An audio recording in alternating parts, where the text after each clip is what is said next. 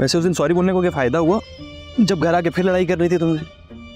तो तुम्हें ये लगता है कि तुम मुझे तैयार करवाओगे और फिर ऊपर से अपने दोस्तों के साथ निकल जाओगे? और मुझे अनएक्सपेक्टेडली कॉल करोगे और फिर मैं तुम्हें ये कहूँगी कि इट्स ओके जानू? हाँ तो इंसान कुछ भी कर सकता है। बल्कि तुमसे तो उम्मीद लगाना ही फजूल है।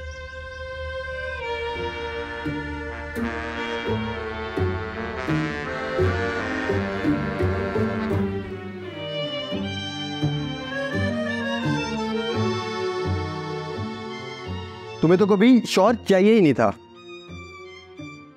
तुम्हें तो स्लेव चाहिए था। और शुक्र अदा करो तुम्हें स्लेव मिल भी गया। रिमोट देना। मुझे स्लेव चाहिए था और तुम स्लेव हो। हालत देखी तुमने अपनी? हालत देखो अपनी। बस बातें सुनता रहता हूँ यहाँ पे तुम्हारे काम करता रहूँ। स्लेव नहीं तो और क्या है औरत का दिमाग मर्द के दिमाग से सिर्फ़ साइज़ में बड़ा नहीं है। ये कम्प्लीटली मुख्तलिफ़ है। औरत सोचती है प्यार के बारे में ताल्लुकात के बारे में रिश्तों के बारे में। ये पता नहीं कहाँ लेके जा रही हो।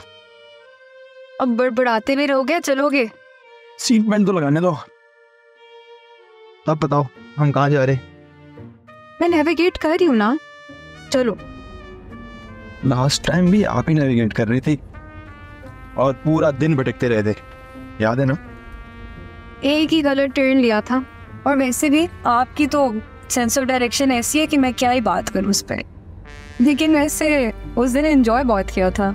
ना तुम खड़ूस थे और ना तुम चिड़चिड़ी। तो तुम भी कितनी मासूम थी उस वक्त। और अब देखो हर बात पे लड़ने को तैयार हूँ। मासूम मैं अभी भी हूँ लेकिन तुम इतना इरिटेट करते हो कि मुझसे कंट्रोल नहीं होता। But still I love you you know that प्यार तो मैं भी तुमसे करता हूँ पर तुम करने नहीं देती। लगता तो बिल्कुल भी नहीं है। आगे से राइट ओके मैडम आगे से right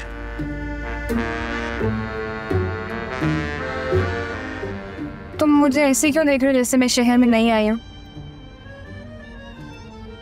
I know where I am going trust me मेरी इत्तलात के मुताबिक आपको इस शहर में सिर्फ़ दो रास्ते पता है। एक जो आपकी अम्मा के घर जाता है और एक शॉपिंग मॉल और दोनों ही मेरे लिए सरप्राइज़ नहीं है तो इसी बात पर आपकी मालूम पर ज़रा इजाफा करते थे। I know where I am going trust me चलो। क्योंकि मैं ग्रीन हूँ।